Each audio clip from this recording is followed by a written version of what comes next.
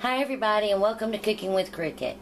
I have been wanting one of these spiral slicers for a long time and I finally got me one thanks to Heather from the Kneady Homesteader who told me to go check out Walmart.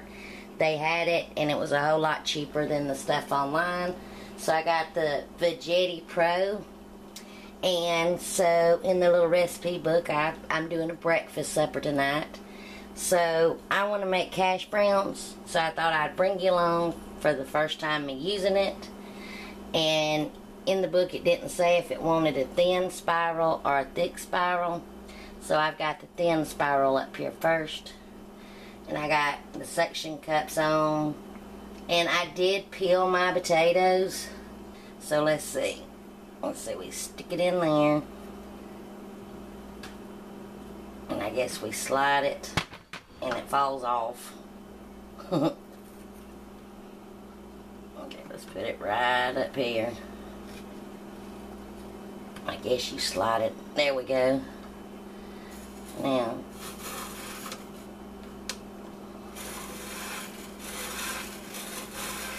it's not sliding.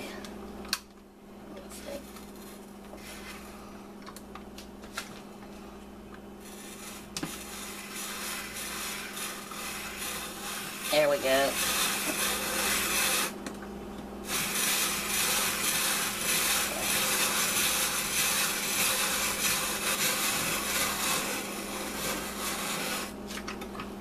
Well, now that's cool.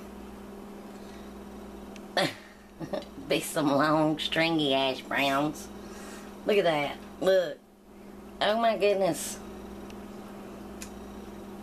That's that's a long hash brown. I've peeled three really small potatoes and it's just going to be me and Ricky eating tonight. So I'll go ahead and cut up all three. That was pretty cool. Do y'all have one of these? How do you like them? Let me know. Now this will be, I'm sure, more hash browns than we can eat. But I'm going to go ahead and set these in cold water until I get ready to cook them and um, I'm not going to do onion in these but if you want onion it said to thinly slice some onion but not for my breakfast supper. I don't want onion. I really got this for zucchini. I cannot wait to make some of the recipes. I've been seeing Booger and Tabe and all doing. And uh, Valerie Reese. Look at that. So cool Alright, I'm cooking these on my uh, grill pan, and so excuse the sun spots coming in.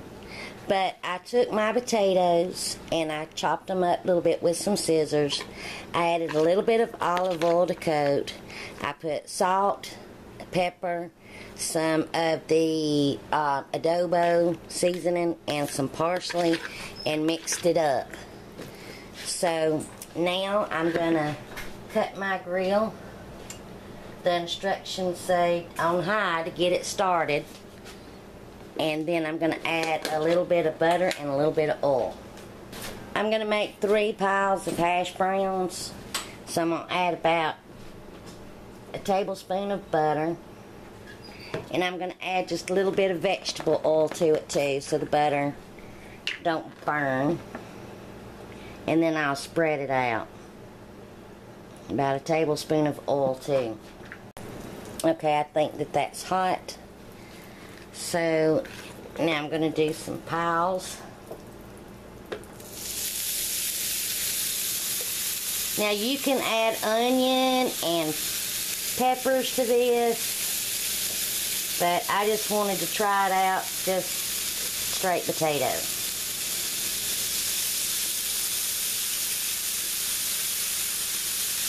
And now it says to lower the heat to medium and cover and cook it for about 10 minutes or until the bottom is crispy. I don't have a lid for this, so that will be my lid. And I'll bring you back in about 10 minutes or when it looks like it's getting crispy. Alright, mine's actually been 15 minutes. Now, this is going to be fun trying to flip all this. There, I did pretty good.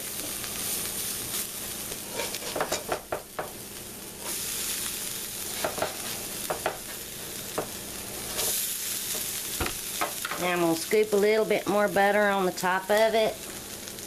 Let it sink down in there to help that brown. Where to cover it until this layer gets brown and crispy. And that should take about another 10 minutes. Alright, let me check them.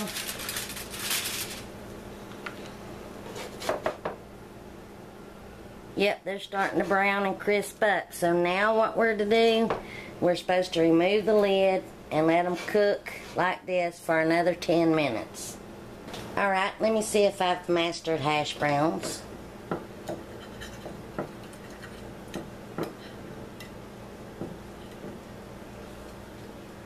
Yep, I think I've mastered hash browns. My kids will be so happy. They're crispy on the outside and I like them tender on the inside. Very good. So, so far I'm loving my um, thing. So, thanks for watching. Please give me a thumbs up if you like this video. Comment. I love hearing from you. Do you have one of these gadgets and what all do you make? And subscribe if you haven't already. And also hit the notifications so you'll be notified when I upload a new video. Thanks for watching, y'all. Bye.